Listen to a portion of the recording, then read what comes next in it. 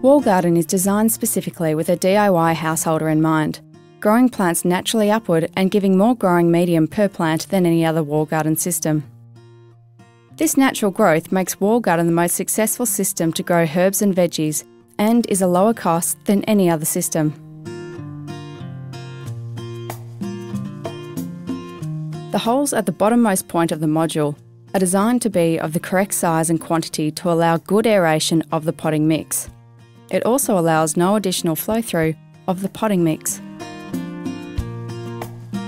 Wall Garden is moulded from black recycled, potable quality polypropylene with UV degradation inhibitors.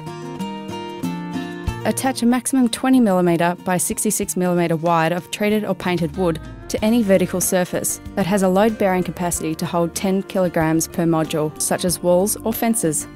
After finding the cross studs, attached to rendered or clad finishes. Space wall garden a minimum of 20mm apart. That gives you 6 modules per square metre, and further apart for taller plants. This patent design waters each module evenly.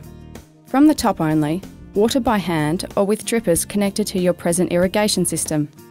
Capture any excess water at the bottom for reuse or divert with household gutter to another garden bed. By trial and error, water it enough to suit your location conditions and the plant type. Wall Garden's design directs other external water sources, such as rain, from the outside of each module to watering the below plants. Wall Garden has water saving features. Shown here are 9 modules high, compared to a plant in the ground, to a plant in Wall Garden, the wall garden configuration uses one seventh of water per plant. Wall garden has massive insulation factors for both keeping a northwest facing wall cool in summer and reduces lost heat in winter.